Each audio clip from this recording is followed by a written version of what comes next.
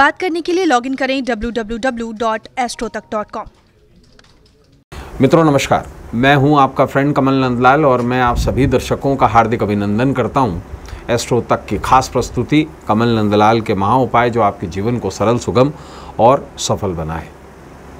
दोस्तों, इस प्रोग्राम का उद्देश्य ही आपके जीवन को सरल, सुगम और सफल बनाना है। इस प्रोग्राम का उद्देश्य है आपके जीवन में जो जटिल से जटिल समस्याएँ हैं, उनका सरल से सरल समाधान करना। और इसी के तहत हम आपके लिए कभी पर्वों के आधार पर, कभी आपकी समस्याओं के आधार पर, कभी दिनों के आधार पर, कभी नक्षत्रों के आधार पर विशेष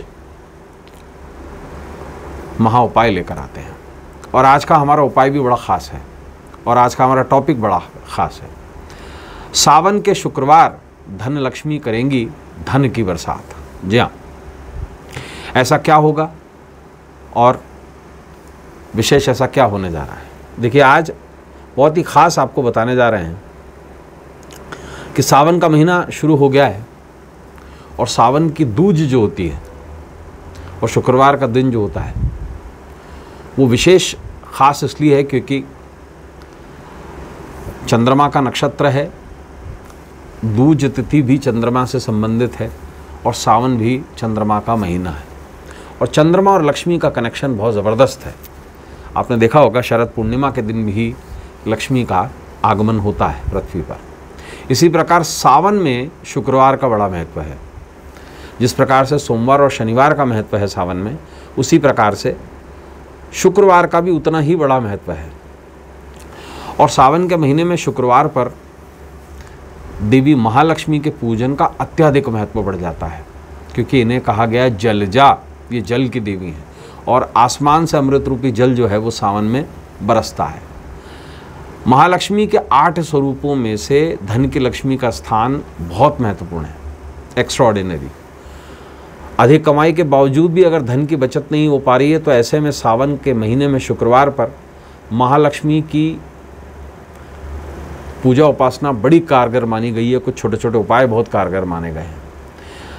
सावन के सभी शुक्रवार महालक्ष्मी के निमित्त व्रत पूजा और उपाय करने से पूरे साल भर तक घर संसार जो है वो धन से भरा रहता है। और सोलह शुक्रवार का जो व्रत होता है, सोलह शुक्रवार और सोलह सोमवार, दोनों, ये दोनों व्रत जो होते हैं, ये इन्हीं चार महीनों में होते हैं। तो ये जो सोलह शुक्रवार का व्रत है, महालक्ष्मी या वैभव लक्ष्मी के निमित्त ये भी इसी महीने में सावन से ही शुरू होता है। और विशेष आपको बता दूँ कि सावन के महीने में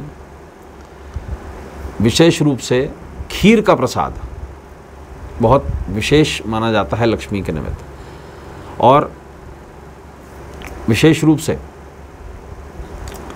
लक्ष्मी की जो उपासना होती है, जल, दूध, दही, शहद, चीनी चंदन, बिल्वगिरी, कमलगट्टे धूप दीप और दक्षिणा के साथ लक्ष्मी का पूजन किया जाता है।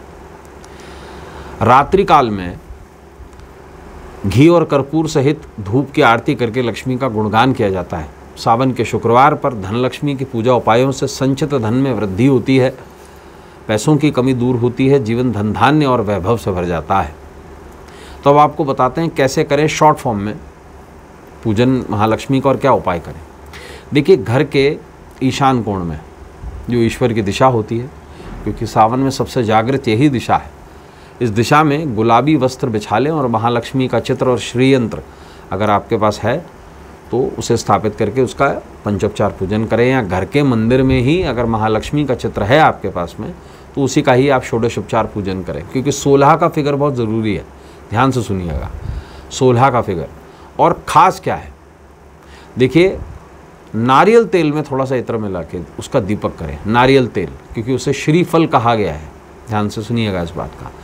गुलाब की धूप करें, गुलाब के ही फूल चढ़ाएँ और खीर ज़रूर, खीर का भोग ज़रूर लगाएँ, क्योंकि खीर के बगैर महालक्ष्मी का पूजन और अगर खीर ना हो पाए तो किसी भी दूध से बनी मिष्ठान का ज़रूर भोग लगाएँ। और एक विशेष मंत्र आपको बता रहा हूँ, इससे इंद्र भी मोहित हो जाते हैं। ये धनलक्ष्मी का विशेष मंत्र है। तो क्या करें आप?